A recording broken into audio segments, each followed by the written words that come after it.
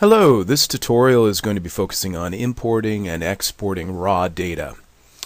And we're here on the main console, so I'll jump up to the Reports tab.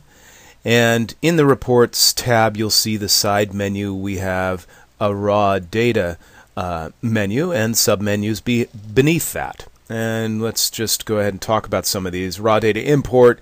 This is where you obviously would import the data um, uh, from your system into the Survey Manager. You can also use the question mapping import, and this this allows you to map uh, the fields from a raw data file and map them to your survey or your questionnaire. And this is especially helpful if you're importing a data file that didn't originate from within the Survey Manager. Maybe you're bringing in a data file from another survey system or another uh, another data system, uh, and you would just use this question mapping process to map that data uh, file to your survey that you've designed. Uh, you can export your your data here, which is where we've come to by default. Uh, you can also export media files. Let's say your mobile phone or your mobile survey device, be it a tablet or a phone, is capturing images or video or sound files. Well, you can do a batch export of those files. You can also access those files within uh, uh, your raw data itself if you wish, or just export the, the media files themselves here. Another thing that's nice to know about is you can actually schedule your raw data export. Uh, and you can have these exported files attached to an email, and you can schedule that for any interval you wish daily, weekly, monthly uh, and have them actually exported in any format you want CSV, Excel, SPSS and have them delivered to whomever you want, whenever you want. So that's uh, what you can do in this area. So why don't we go up here? We're in the export screen. So let's first select a survey type. Mm, we have all these multiple modalities you can select from. I'm going to select mobile phone and then select my survey. I'm going to select sample iPhone survey. And now I can select all locations or individual locations to export. I'll just leave it at all. And here you'll see I have delimited by comma or by tab, fixed width, uh, a dot .sav, which is the SP PSS format extension, Excel or CSV options. I can also export the completed surveys, and it tells me right there I have 585 in this file, or incomplete surveys only, or both combined. So those are the export options there. This is important note. If you plan to import the data you are now exporting back into the Survey Manager, you should use the delimited by comma format only and that is the default format. It, it is selected by default here. And um, so why would you do that? Well, let's say you wanted to export your raw data file, make some changes, and import it back in before you run your report. That's that's certainly an option. But let me just mention here that there is another option available to you. If you run a respondent level report, there is a feature called Edit Response. You can also delete responses um, within that report. So you can actually, within the report itself, make edits or delete individual surveys without having to export your data file. So I just want to make sure you're aware of that option uh, within the respondent level report. And down here, the raw data schema simply explains, if you click on that, uh, a PDF file will open uh, giving you an explanation of how we organize our raw data. So I'm just going to go down and click in the bottom right corner the export button, which is now exporting this uh, raw data file uh, delimited by comma. And here, the click here link will then open or save that file in my system. Okay, so let's say we've exported that and edited it, and now we want to import that file back in. So I'd click on the raw data import, which is what I've done now. I'd select my survey type, and we were working with a mobile phone survey type, and we're working with sample iPhone survey. And I'm going to select a location here to bring that data in, and I'm going to browse my system. It was saved to my desktop. Let's see here, details. There it is. And I'm going to import that. Now I can click this checkbox if I want to preview the data before saving it. Um, and I can also say, hey, I'm importing completed or incomplete surveys. So I'm just going to import this, and the system is processing that data now. and it confirms data imported successfully. So that's the simple method of exporting uh, a raw data file in a comma delimited format and importing that file back into the system after making edits. And you'll see here it does indicate .txt or XML formats. So this is important to note. If you're exporting a file uh, and making edits, you can bring it in in either of those two formats.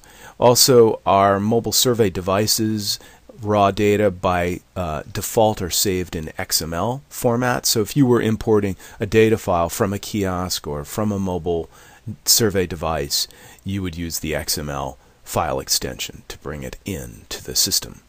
Okay, so let's take a look now at question mapping. So again, let's uh, assume we're bringing data into the survey manager from uh, another system. Uh, that data file didn't originate within the survey manager. So I would come here, I would um, select my, let's just stay with the same survey type for the sake of consistency. I'm going to actually stay with the same survey itself. Um, select a location, let's say Clinic 1. I want to bring in this data file from uh, outside the system. So I would go ahead and browse my system for that data file. And let's go details uh, uh, sample iPhone survey. Okay so here's my uh, file and I selected an Excel an Excel file.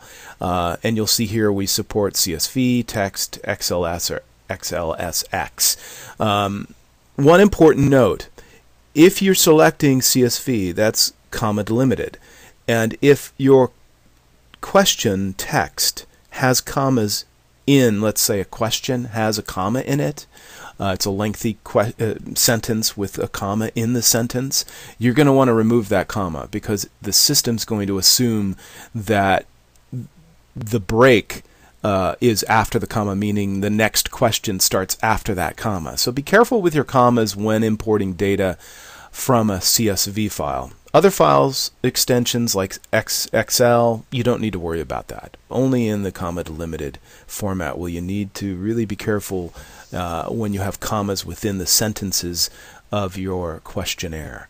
Okay, so I'm going to uh, import completed survey option.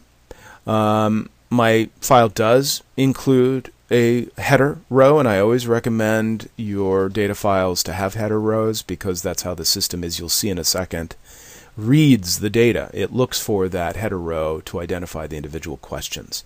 And was your data file exported from the survey manager, yes or no? Uh, my file was, so I'll indicate yes. So I'm going to import, and here is where you see the mapping occur.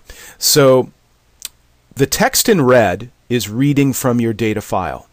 Okay, the drop downs are reading from the survey itself that you designed in the Survey Manager. And let me mention something here. We're assuming you've gone into the survey module in the Survey Manager and gone through the Create Survey Wizard to first design your survey instrument before obviously trying to import a data file that's going to be mapped or associated with that survey.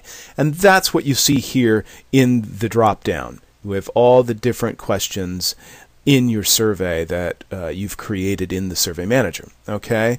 And so that's all these individual drop downs uh, beneath the red text which is being read in from your file uh, that you're importing. And the system attempts to map for you which it's done here which of the following age groups do you fit into? So that's the question in my data file.